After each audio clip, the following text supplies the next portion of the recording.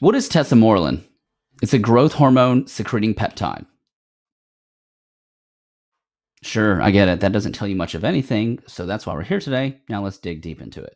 A little history about tesamorelin. Okay, so tesamorelin was originally FDA approved in, I believe, 2009, and it was under the brand name drug called Egrifta. Now, Egrifta was FDA approved for the treatment of lipodystrophy in patients that have HIV. Now, if you're not familiar with lipodystrophy, that's a condition where the antiretroviral drugs, the actual drugs used to treat HIV, those drugs can induce a redistribution of body fat centrally. In other words, you start retaining a lot of body, body fat in your visceral region, in your abdomen. So that's why we call it centrally. And it starts thinning out peripherally. Your limbs, your arms, legs get a little bit skinnier.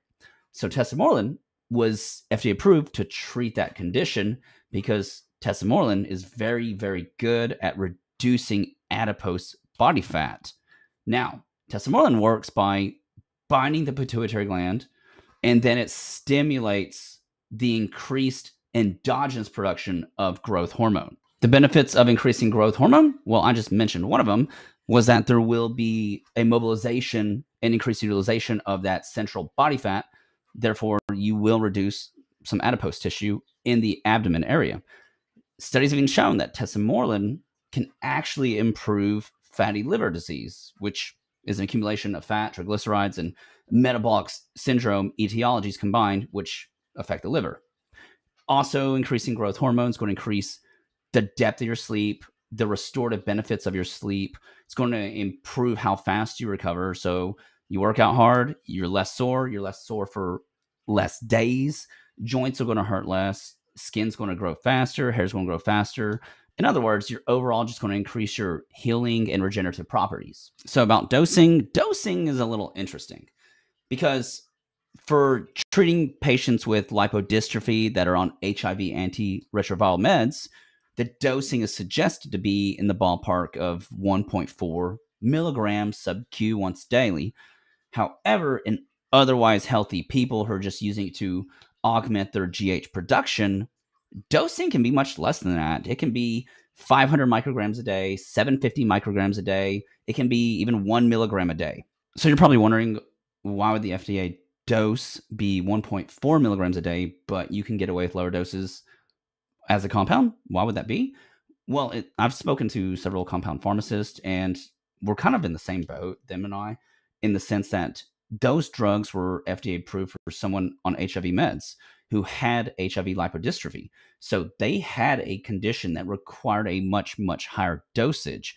However, we can extrapolate that if you're an otherwise healthy guy who just makes an underwhelming amount of GH, you can get away with less. And quite frankly, I've even seen the IGF 1 levels of people who are on tesamorelin pre and post, and they can make a substantial increase in their, their IGF 1 production, as well as a substantial improvement of their symptoms of having low GH. So, lastly, what would be the expectations of tesamorelin? So, just like any other growth hormone secretagogue, like CJC or like ipamorelin or hexarelin, sermorelin, whatever, any of them, just like any of those, these GH secretagogues are not, I repeat, they are not fast acting. You must be patient when you use these medications if you want to get a good substantial amount of efficacy out them.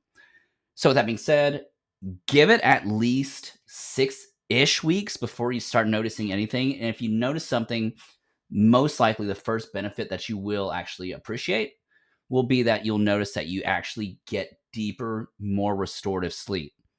Now, to get the full amalgamation of benefits, the recovery, the regenerative, the et cetera, et cetera, those types of things, you're looking at least minimally three to four ish months before you can actually notice some tangible degree of benefit. So again, patience is the key when it comes to using these peptides.